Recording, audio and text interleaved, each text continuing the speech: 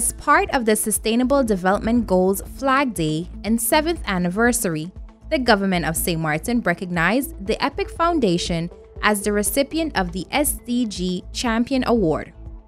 To witness this achievement and receive this award on behalf of EPIC Foundation was Mr. Ruben Thompson and presented by Deputy Prime Minister Egbert Doran with support by staff of the Department of Interior and Kingdom Relations, BAC. Environmentalist and associate Ruben Thompson of EPIC Foundation, during his thank you remarks, gave appropriation to Mr. Emilio Wilson and his vision for St. Martin some 30 years ago. Mr. Thompson expressed his appreciation and continued commitment to the realization of the SDGs for St. Martin. I was thinking to myself how appropriate it is for us to be gathered here today to mark SDG Flag Day at the Emilio Wilson Cultural and Historical Park. A park made available to the people of St. Martin by its owner, the late icon, Mr. Emilio Wilson, who himself was an advocate for the sustainable development of St. Martin. I invite you to look up Mr. Emilio Wilson on YouTube. You'll find a video of some 30 years ago in which he, in his own unique way, yet very St. Martin way, talks about the need for sustainable development of St. Martin. Allow me, on behalf of the board of EPIC, project teams, interns, and volunteers, to say a few words in appreciation of this occasion.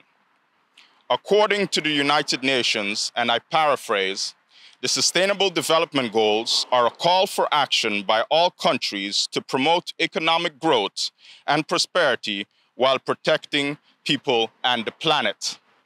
Today, September 23rd, 2022, some seven years after the adoption of the Sustainable Development Goals, the SDG flag will be raised at various places in countries and territories all around the world to show support for these goals, which cover topics such as gender equality, access to quality education, decent work, clean water and sanitation, sustainable cities, and of particular interest for us in the context of which we are gathered here today, climate action and biodiversity, which includes life below water and life on land. Environmental Protection in the Caribbean St. Martin supports this global movement for a better world by acting locally. EPIC's mission is to promote conservation on St. Martin through research, education, outreach, and advocacy, and the EPIC team has been active on island for over 20 years. During this period, the foundation has operated programs such as the Environmental Education Program, the Love the Lagoon program, reforestation projects of wetland and hillside vegetation, the blue flag and green key eco-labels for beaches and marinas, coastal, wetland, and neighborhood cleanups, a comprehensive inventory of St. Martin's flora, training hiking guides, and the mapping of hiking trails. In order to achieve sustainable development, St. Martin must find and implement ways to encourage and stimulate economic growth or stability while protecting the natural environment, our cultural heritage, and improving the overall quality of life of our population.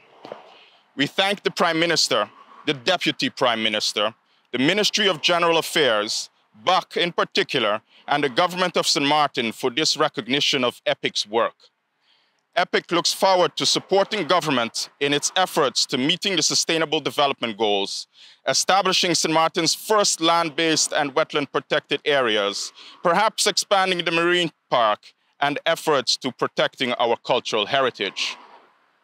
I am hoping that perhaps one day, in the not too distant future, we will be gathered here again to mark the occasion of the establishment of the entire remainder of the Emilio Wilson estate, including this park, as a protected area and national park. I thank you on behalf of EPIC and wish you a pleasant day. Deputy Prime Minister Egbert Doran, during his presentation, highlighted the projects that have propelled the EPIC Foundation as recipients of the Champion Award, while expressing his gratitude to the EPIC Foundation for their continued hard work and dedication towards the implementation of the SDGs. Today, September 23rd, we commemorate the seventh anniversary of the Sustainable Development Goals, the SDGs. As acting Prime Minister, I congratulate the Environmental Protection in the Caribbean Foundation, EPIC. EPIC Foundation has been selected as the SDG champion based on tremendous work carried out over the past couple of years. Projects such as the coastal and neighborhood cleanup, the information and awareness campaigns have become community staples. EPIC has displayed consistent commitment and served as an advocate for the environment of St. Martin. With that being said, I would like to congratulate Mr. Thompson and the entire team.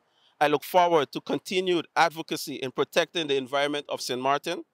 I would like to reiterate the appreciation and gratefulness on behalf of the government of St. Martin.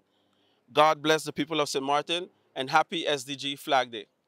Mr. Thompson and team, I would like to congratulate you for a happy SDG Flag Day and also thank you for your commitment to the environment of St. Martin and I look forward to collaborating much more, not only in my capacity as Deputy Prime Minister, but more so as Minister of Environment as well. Thank you once again and congratulations. Thank you very much, Minister. Much appreciated.